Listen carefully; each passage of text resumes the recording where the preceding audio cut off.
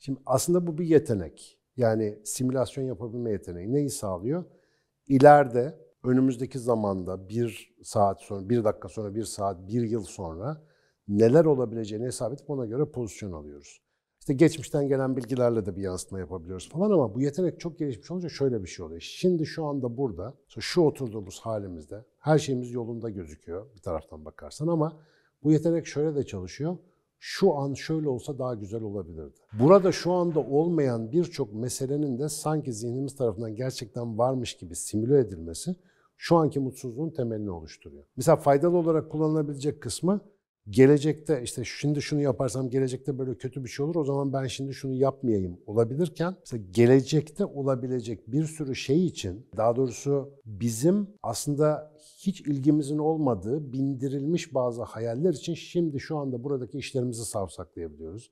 Görevlerimizi bırakabiliyoruz ve gelecekte sanki bir şey kendiliğinden çok iyi olacakmış gibi. Fırsat zihni, voleyi vuracağım, şöyle bir şey olacak işte ona oldu bana da olur falan filan gibi bizimle ilgisi olmayan gerçek dışı gerçeklikleri üst üste bindiriyor. Şimdi geçmişle ilgili düşündüğümüz her şey aynı simülasyonun parçası. Gelecekle ilgili hayal ettiğimiz her şey ve şu anı da algılama biçimimiz tamamen simülasyon. İddia şu, bizim hatıra dediğimiz şey geçmişteki duygusal donelerden geçmişi tekrar yaratmakla alakalı. Geçmiş hiç olduğu gibi hatırlamıyoruz. Onu tekrar yaratıp simülasyon bir geçmiş yaratıyoruz. Gelecek zaten gelmedi. Geçmiş deneyimlerimiz ve şimdiki simülasyonumuz gereği geleceğe projeksiyon yapıp onu da yaratıyoruz. Şu anki anı da hiç olduğu gibi algılayamadığımız için hem hafızamızdaki simülasyonu hem gelecek simülasyonumuzla çarpıtıp bir de şimdiki zaman simülasyonu oluşturuyoruz. Dolayısıyla yaşadığımız gerçeklik düzeyi buradan bakınca tas tamam bir simülasyon. Gerçeklikle neredeyse hiç alakası yok. Bundan çıkmanın yolu tek hükümdar olduğum ve tek gerçekten var olan şimdi, şu an ve buradaki şart ve koşullara odaklanmaya başlamaktan geçiyor. Şimdi buraya odaklandığın zaman şöyle olsaydı böyle olurdu sorusunu sormanın anlamsız olduğunu fark ediyorsun. Çünkü şimdi, şu anda, burada hiçbir şey olduğu halinden başka bir şey olamaz. Eğer Tanrı değilsen, hiçbirimiz değiliz.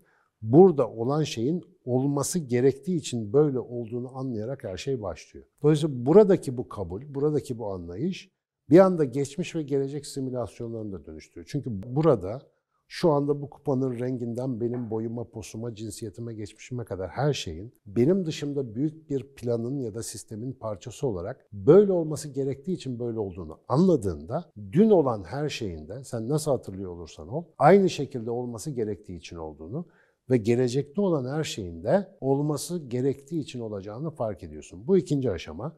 Burayı fark ettin. Geçmiş geleceği de simülasyondan makul olasılıklara çevirdin.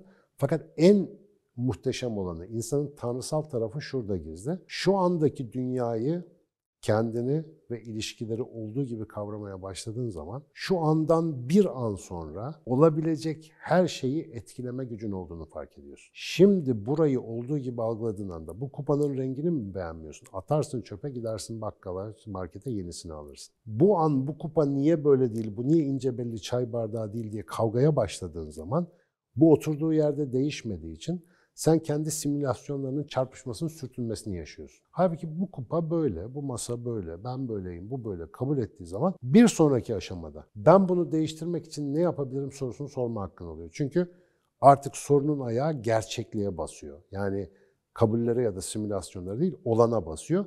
Olana bastığı zaman da zemin sağlam olduğu için bir sonraki aşamada tanrısal bir yetkinlik kazanıyorsun. Sen artık bunu istediğin gibi dönüştürebiliyorsun. İşte burada da bilinci devreye koyup mesela ben bu kupanın rengini değiştirmekle mi uğraşayım?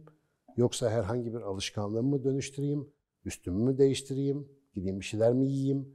Bunun kararını nasıl diyorlar? Gerçeğe dayalı bir şekilde, gerçekçi bir şekilde bu anda vermek bir sonraki anı senin yarattığın bir ana dönüştürüyor. Ve gittikçe böyle anlarla yani bilinçli tercihlerle yaşanan bir hayat sürünce de bu insan hayatında ne yaptıysa ben bilinçle tercih ettim, yaptım. Yanıldıysam da öğrendim. Pişmanlığım yoktur. İyi ki geldim. Gene olsa gene gelirim diyebiliyor.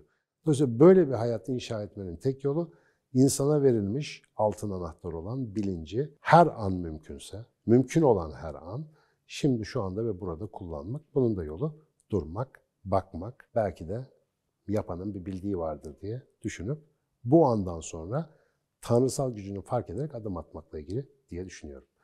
Ana konu bu.